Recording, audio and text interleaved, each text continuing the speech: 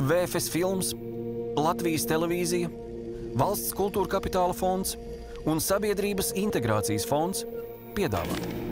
Pirms 62 gadiem, 15,000 km attālumā no Latvijas, tika sasniegta toreiz augstākā Latvijas sporta virsotne - pirmais olimpiskais zelts. Pasaule gan to nenojauta, jo šķēpmetēju Inesi Jaunzemi sauc par krievieti un sveic ar PSRS himnu. Tomēr latviešiem visā pasaulē Ines bija savējā.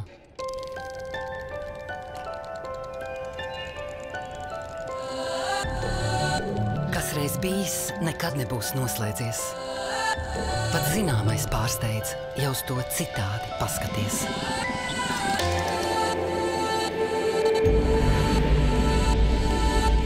Atslēgas, gadsimta vēstures atradumi.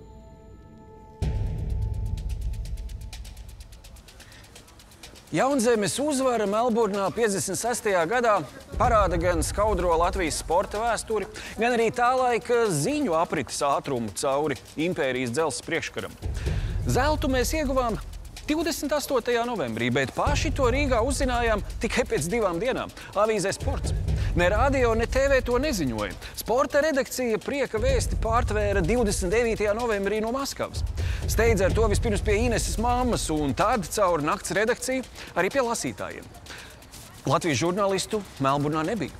Neatkarīgā Latvija paguva piedalīties septiņās olimpiādēs un iegūt trīs medaļas. Pēc okupācijas Latvijas atlēti varēja pārstāvēt vien PSRS vai trimdas zemju krāsas. PSRS izlasē Melburna bija tikai otrās vasaras spēles. Jau savās pirmajās 52. gadā Helsinkos medaļu ražātā atpalika tikai no rekordistiem amerikāņiem, bet Melburnā pārspēja arī tos. Būt pirmajiem bija komunistiskās politikas plāns. Sporta funkcionāriem lūgums laist uz ārzemēm bija jāraksta pašam Staļinam un jāapsola mājup ar uzvaru. 56.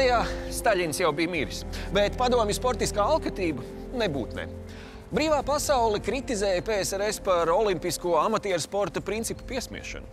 Padomju sportisti nebija amatieri, bet slēpti, valsts algoti profesionāļi. Arī no jaunzemes prasīja tikai un vienīgi zeltu.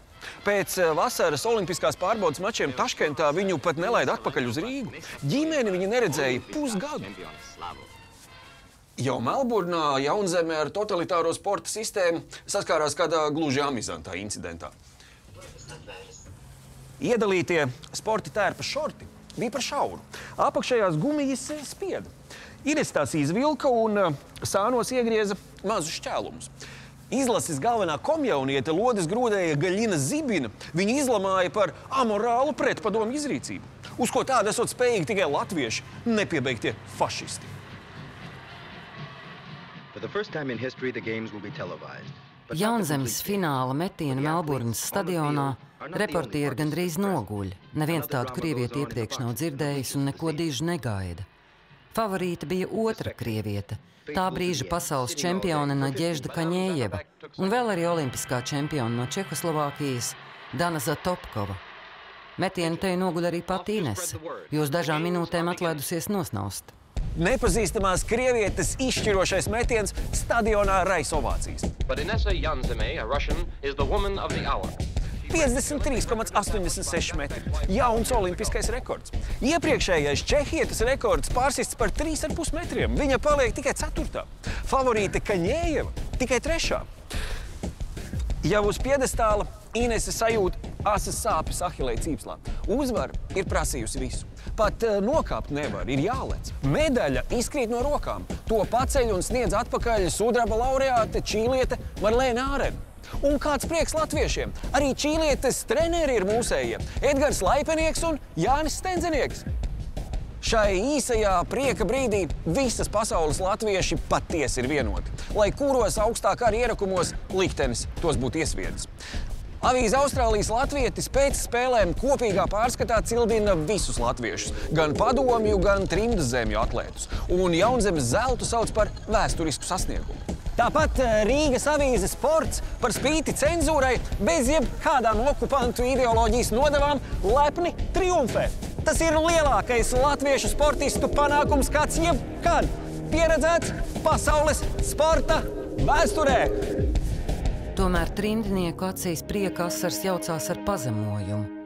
Zelts latvietei, bet to godina ar okupantu sarkano karogu un himnu. Tevi brīvotā, tevi mēs slavinām. Daudz tautu draudzībā stipra tu audz. Un sarkano karogu kvēli, kas plīvo mums sargāt un nākamā paudzēm nest. Skanot PSRS himnai, trimdas latviešu arēnās palika sēdot. Prese pieminēja latviešu sportistus, kas uz olimpiādi nav tikuši okupantu represiju dēļ. Londonas avīze skaudri rezumēja: padomīja gūst uzvaras uz citu tautu rēķina. Diemžēl trimdas taisnīgais sašutums mijās ar visdegunīgām nievām par komunistu latviešiem. Kaut Austrālijas trimdnieki paši nu pat bija izsprukuši no komunistu nagiem un paglābušies bagātajā brīvības salā, daudzi Latvijā palikušos uzskatīja nevis par režīmu upuriem, bet līdzskrējējiem un meta vienā katlā ar krieviem un taģikiem. Indas podi presē vārījās. Okupētās dzimtenes latvieši ir tipiski padomju sports. Noslēpumainākais bars skaļajā olimpiskajā pilsētā. Visa padomju vienība, ieskaitot latviešus, nelabi daudz. Okupētās Latvijas viesi brīnās par leiputrisko preču pārpilnību Melburnas veikalos un tā tālāk. Vēl pirms jaunzemes zelta metiena netrūka nievu arī viņas sejā. Kas tie par latviešiem, kuri atbraukuši padomjas komandā? Oto Grīgalka ar savu krievu sievu, un tad vēl kaut kāda šķēpmetēja Inese Jaunzeme, kura ir vai nu dūmja vai dikti lepna, jo ar viņu nekādi nevar aprunāties klātienē. Čekisti iebiedētie latviešu sportisti tiešām vairījās no kontaktiem. Citādi riskētu aprakt savu karjeru. Basketbolists Jānis Krūmiņš nav atteicis autogrāfus, taču, kad kāds aicinājis uz glāzi alus, nozudis. Viņa komandas biedrs Maigonis Valdmanis stāstīs pēkstiņus, ka padomju Rīga esot daudz skaistāka nekā kādreiz. Trīmdas prese dzēlīgi atgādināja, ka Valdmanis ir kopjaunietis, bet viņa tēvs komunists. Mums ir gandrīz neiespējami saprasties un nav par ko runāt. Tiesa, kad Krūmiņš, Valdmanis un Valdis Mužnieks padomijai izcīnīja sudraba medaļas, priecājās arī Trīmda. Melburnas spēļu laikā jau bija izplēnējušas Baltiešu emigrantu cerības startēt zem savu valstu karogiem. Kaut vadošās lielvalstis okupāciju neatzina, Starptautiskā olimpiskā komiteja politikā nejaucās un trimdā dibinātajām Baltiešu olimpiskajām komitejām pieklājīgi atteica. Lai vismaz kaut kā pievērstu uzmanību Baltijas liktenim, Austrālijas trimdinieki spēļu laikā savus autoru rotāja ar plakātiem Freedom for Baltic States. Kā nu sports bez politikas? Arī Melburnas vasaru stingzināja augstā kara dvēsme. Abas Vācijas, brīvā un komunistiskā, toreiz vēl startēja kopīgā izlasē. Taču vācu basketbolisti pat spēļu laikā bija izteikti naidīgi viens pret otru. Par kara kulmināciju kļuva ūdens polo fināla mačs - Ungārija PSRS. PSRS armija nu pat Ungārijā bija brutāli apspiedusi postpadomju revolūciju. Šī spēle Ungāriem bija kā atriebība. Viņi samala PSRS ar graujošu 4-0, un mačs beidzās ar asiņainu kautiņu un policijas iejaukšanos. Vēsturē tas iegājās kā Bladina Water match, mačs ar asinīm ūdenī. Pēc olimpiādes ap pussimts ungāru sportistu palika Austrālijā un pieprasīja politisko patvērumu. Turpretī Latvijā 56. bija atkušņa un cerīgu pārmaiņu gads. Nu, pat no Sibīrijas sāk atgriezties pirmie izsūtītie. Arī vēlākais smaiļotājs un Latvijas Olimpiskās komitejas atjaunotājs Vilnis Baltiņš. Viņš atceras, ka tieši latviešu medaļas Melburnā bija iedvesmas grūdienis pievērsties sportam. Neviens padomju latvietis Austrālijā nepalika. Visi sakāpa uz tvaikoņa Grūzija un devās mēnesi garā māju ceļā. Trīndas prese nopakaļus vēl atgādināja, ka šo kuģi PSRS karā nozaga Polijai. Vēl garāks bija mūsu ceļš līdz šim pirmajam zeltam - 44 gadi. Pašu pirmo olimpisko medaļu, bronzu, latviešiem izcīnīja rīznieks Haralds Blaus Stokholmā 1912. gadā. Disciplīna - māla baložu šaušana. Šodien to sauc par stenda šaušanu.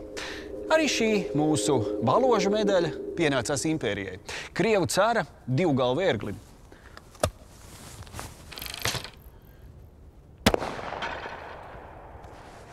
Turklāt tā bija pirmā olimpiskā medaļa visas Krievijas vēsturē. Blaus bija dzimis čempions. Vēlāk kļuva par vairāk kārtēju Latvijas meistaru ne tikai šaušanā, bet arī daislidošanā. Vadīja arī tenisa sekciju. Un vēl turklāt praktizēja kā arhitekts. Arī Inese Jaunzeme paralēli sportam mērķiecīgi gāja uz profesionālu karjeru. Studēja medicīnu.